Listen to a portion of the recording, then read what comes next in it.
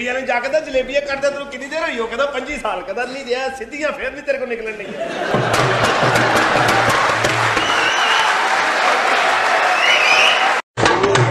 ਇਹ ਪਹਿਲੇ ਫਕੀਰ ਸੀ ਮੰਗਦਾ ਸੀ। ਕਹਿੰਦੇ ਜਾ ਕੇ ਬੂਆ ਖੜ ਕੇ ਮਾਈ ਨਿਕਲੀ। ਕਹਿੰਦਾ ਭਾਈ ਤੇਰੇ ਪੰਜਾਂ ਪੁੱਤਰਾਂ ਦੀ ਖੈਰ। ਉਹ ਕਹਿੰਦੀ ਛੇਵੇਂ ਨੇ ਤੇਰੀ ਭੈਣ ਕੱਢੀ।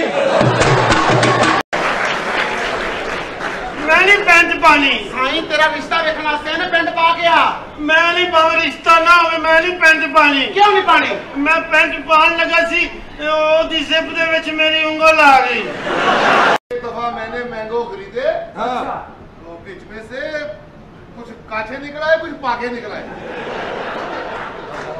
तो वो भी बिकल उसका पड़े है मैंने और खरीदे तो बिल्कुल ही खाटे निकले